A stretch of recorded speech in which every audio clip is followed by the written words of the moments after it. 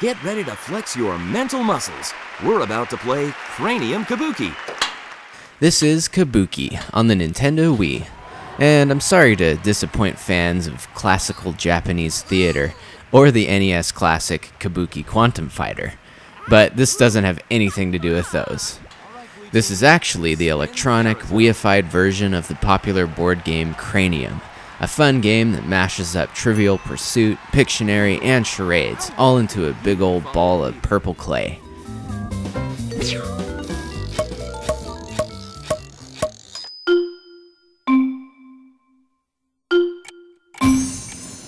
So much like the board game, this really needs a group of people to get the most fun out of it. Even though the game only uses one remote at a time, single player isn't even really an option. So get your friends and family together and you can form up to four teams, competing to be the first to reach 24 points. The four categories of activities from Cranium are still intact Data Head, Word Worm, Creative Cat, and Star Performer, but everything's been adapted to suit the Wii's motion controls. This seems like a natural match, although some players might still have some trouble perfecting some of the required waggling or remote precision.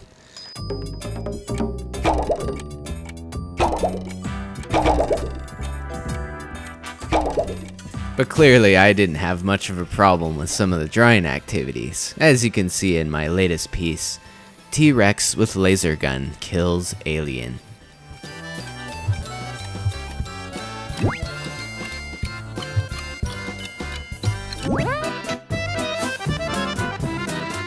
And you might be wondering how to read those scrambly answers down in the corner. Kabookii actually includes a nifty set of decoder glasses that magically shows you the answer. And even though they weigh about 25 pounds, they do have some nice foam shoulder pads to ease the stress on your neck. And don't worry, your altered vision is only temporary. For most people, the blurriness goes away after a few days. It's kind of like the Virtual Boy.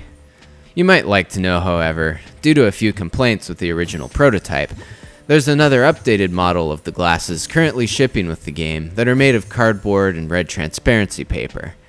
I guess some people were having problems when they were looking at billboards around town and all they could see were the words obey. Yeah, that's kind of weird. So, anyways, this game has a decent amount of brain twisting variety with its challenges but something about it just gets stale after a while. Part of it could be the spinning carousel, even though it seems to be random. You might get unlucky and repeat the same activities several times during a game.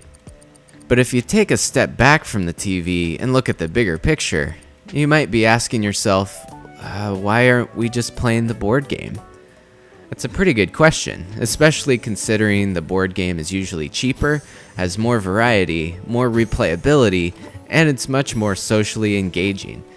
So if you're new to Cranium and debating between the two versions, I'd suggest the more tangible one. But if you're already a Cranium fan and a Wii owner, this is still definitely worth checking out.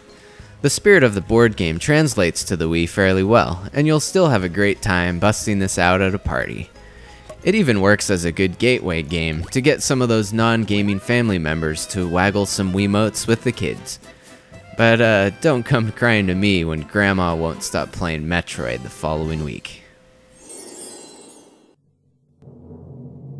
Way to go, Red Team!